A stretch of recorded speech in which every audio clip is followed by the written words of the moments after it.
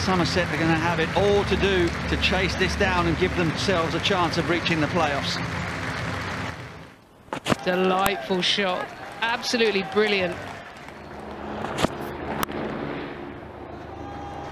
Just opened up the face of the bat. Pulled away. Beautiful shot. Always being a batsman who's good on picking up length. This one he gets hold of. Short boundary, but still.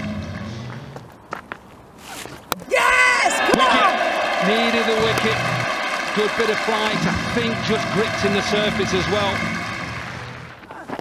Will it carry? It does carry. Drops. Gone up a long way. Short boundary. Oh, brilliant effort.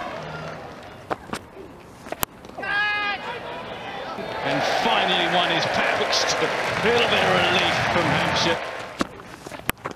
Slower ball. It has been pumped over long on. That's not a good start. Dragged down and dispatched. Yeah! Oh, that's great work. That's terrific work. Not easy. Went between uh, bat and pad. Keeper up. Excellent from McManus. Good 100 by the senior player. After doing all the hard work, Trego will be very frustrated with that. Oh, that's going to be close. It's closer than close. Renshaw goes. Yes! Got him. Well, you take him anywhere you can get him. That's been swung away into the leg side. He will get his man. Up and over.